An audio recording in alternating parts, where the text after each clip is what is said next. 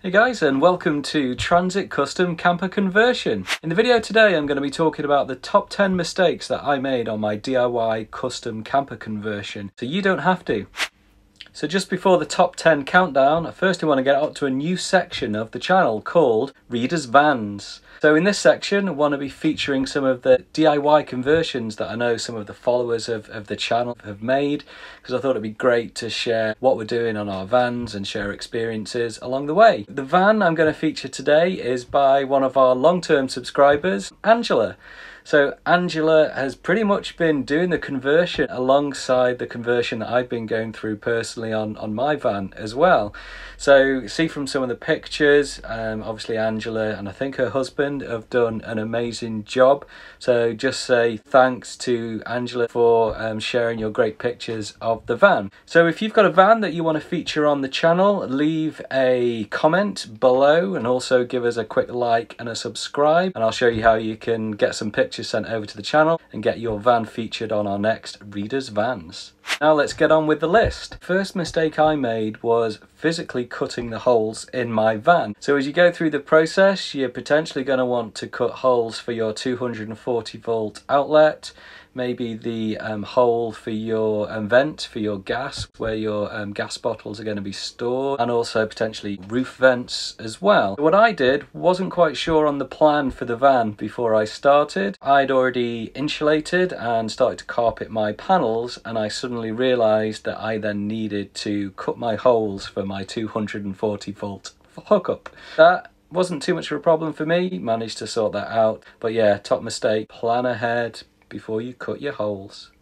Number two on the list was when it came to actually fitting the ply floor. So there's different options for fitting your ply floor. The option that I decided to go for was to drill through the ply floor directly into the metal ribs of the van.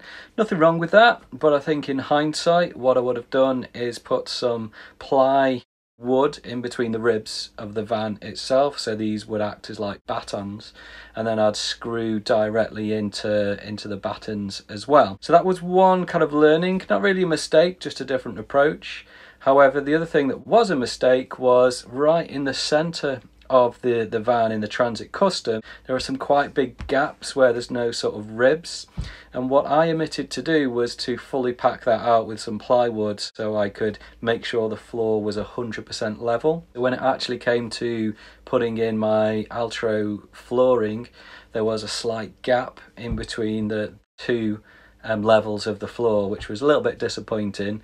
It's not worked out too bad because the position of the, the rock and roll bed actually comes just where that joint is, so you can't see it. But for my OCD, that was a little bit annoying when I was I was laying the floor. There's also gaps near the sliding door. I did pack those out with some some plywood, but just a mistake I made was forgetting to put that packing in the middle between the floor joint.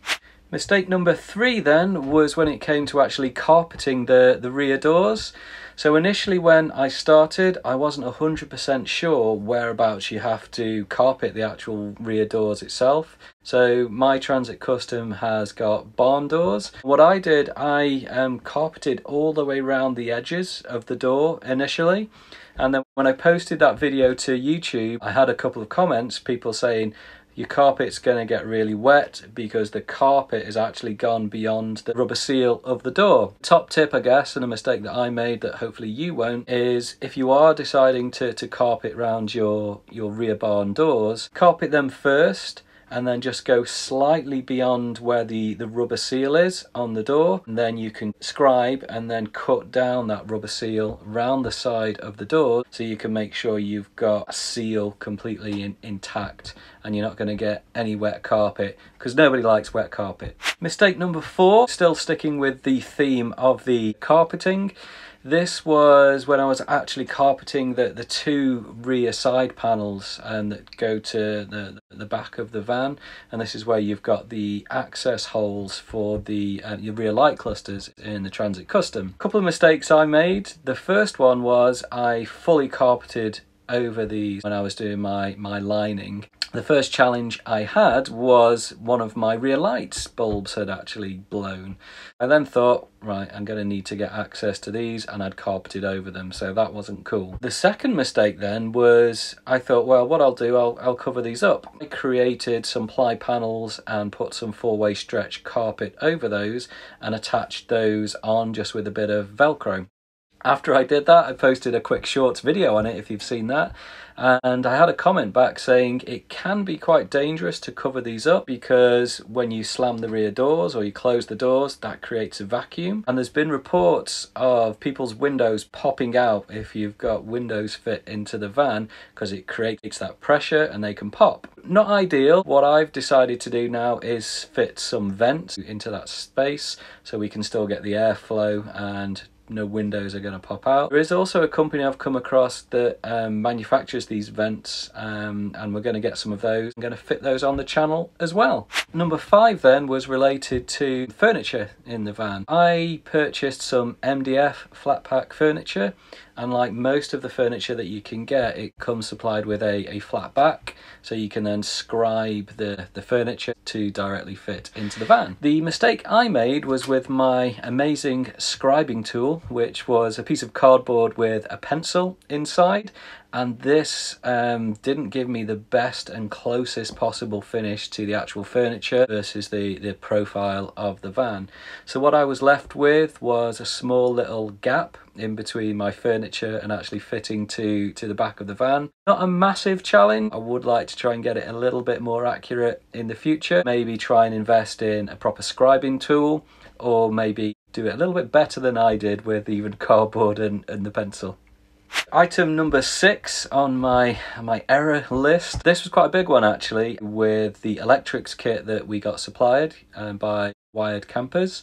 So we went for a kit that just had a normal split charge relay and that was because we didn't fully check whether or not the year of our van actually had a smart alternator. So initially I wired everything up with the standard split charge relay, came to test that in the actual van itself and we realized that the leisure battery wasn't getting a charge, the voltage wasn't wasn't going up and that's because we needed um, to have a DC to, to DC charger. So in the end we ended up replacing and swapping that out with a CTEK D250 SE.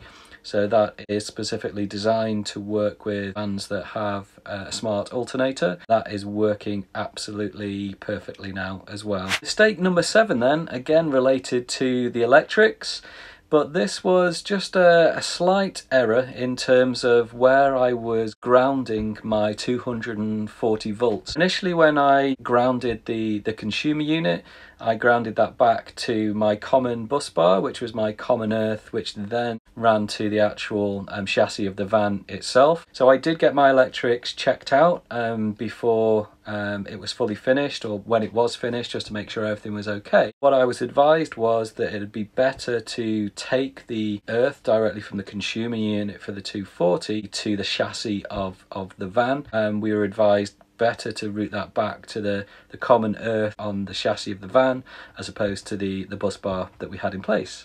Mistake number eight, and this relates to when we had the, the fridge installed. So if you watch the video that I produced on the actual install of our electrics, I had pre-wired some of the electrics back through the units in anticipation of the, the fitting of, of different appliances as well. And when I was doing that, I was checking different um, models and different variations of, of fridge. There was a particular wire gauge that I chose then, specific to the fridge model that I was going to get. Unfortunately, then I, I changed our, our mind in terms of the uh, the fridge that we were going to get, and the unit I went for actually had a higher rating gauge on on the wiring itself. So in the end, I had to go for um, 20 gauge and um, 12 volt wire whereas the pre-wired was only 14. So I think the key thing there is always check your wiring, always check the, the gauge related to the appliance that you're going to fit. The last thing you want is melting wires in your camper van. Item number nine, and this was when I was coming to fit the, the water pump that attaches directly to the micro switch tap that gives us the, the cold water feed into the actual van and our SMEV 9222 unit. When I purchased this as a kit, it came with the, the water pump and also the um, the water bottles itself for waste and also for the clean water supply. When that came though, the actual water pump itself wouldn't fit through the aperture of the actual uh, water bottles. A little bit of a mistake really on the supplier, I guess, because they supplied the water pump that wouldn't actually fit in the bottles. I had to get a replacement item um, directly for that. Luckily, the the manufacturer or the supplier of, of those was happy to replace it and sort of acknowledged it was a bit of a mistake. I guess it's always a, a case of double check your components, double check the aperture of your waste water bottles. Tenth mistake that, that I made, this came with the, the final bit of my installation, which is where I was installing an awning rail on, onto the actual side of, of the van. And what I found is the awning rail I got came in three separate sections so I had to cut these down to fit for the actual size of the van and when I was coming to actually do the um, install I had to sort of pre-drill some holes through the awning rail and also then um, screwing directly into into the metalwork of the van. The one error that I made was the screw that was right near the front of the van when I was actually trying to drill through the metalwork, that was hitting something a little bit more solid and I just had to move that, that screw hole slightly further back towards the bodywork of the van so I could actually make sure I screwed directly into the, the thinner metalwork of the van. Thanks for watching the, the top 10 list. Please like and subscribe so you don't miss any more content from Ford Transit Custom Camper Conversion.